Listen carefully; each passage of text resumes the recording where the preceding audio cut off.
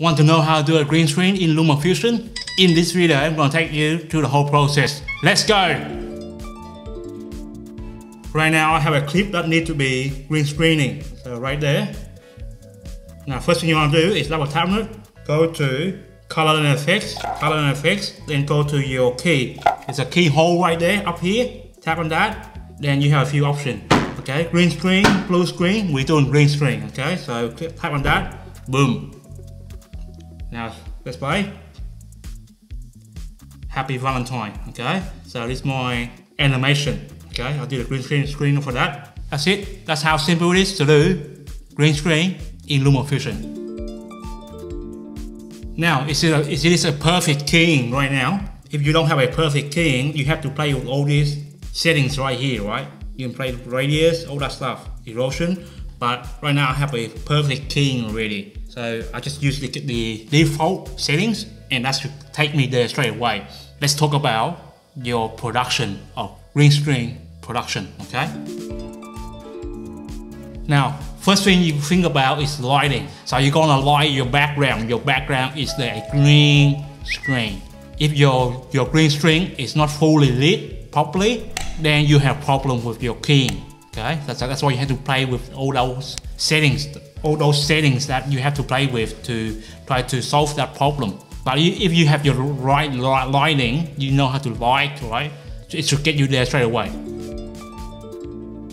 Now, with the background, it's fully lit, right? You have to stand away from the, the background, okay? Otherwise, there should be a light leaking a green leaking in your hair, okay? No good. So you as a sub subject go out the background a little bit. Don't stand next to the background, okay? Move out the background a little bit. So the green screen doesn't cast a shadow on your hair, okay? Or your head, okay? Very carefully, okay? Very, you have to consider about that. Don't don't have don't sit next to a green screen straight away. No, stand out from the green screen. Lit the background, the green screen fully now you gotta lead yourself as well. Have one light, the main light on your on you, and that should work straight away. Okay, so it's a three lighting system. Okay, to do a green screen, three lights. Now, if you have a green screen that is not not so lit properly, right? You have to play with the this kind of settings, the hue range. Okay, so you can play with that. Okay, you can play with saturation or brightness. Okay, so you have to play all this to get the, the perfect thing. But for me, I designed this animation to be perfect. It has a perfect green screen ready. E erosion distance, so you can play around that kind of settings. The blurriness. Okay. I want it to be blurry. So suppression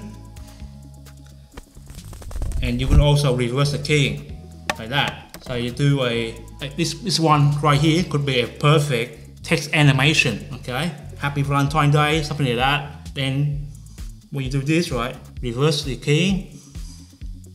This is called text, text masking as well. If you want to learn this process, I have a video right here if you want to check it out. So this is the, the parameters that you can play with.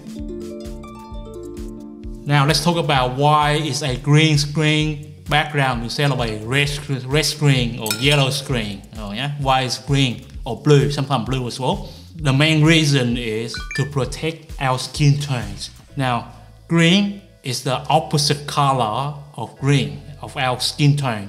Our skin tone have more yellowish. The reason why a lot of uh, Hollywood movie they use green screen is because it's easy to key, okay? And it's protect our skin tones, okay? Our skin tones. My friend, that's how easy it is to do green screen in LumaFusion. Very simple process if you like it well. If you like it well, okay? Now, if you'd like to know how I use my green screen for, check out this video right here, where I usually do green screen animation only. Or see the description below. I'll see you next time with another video. Bye.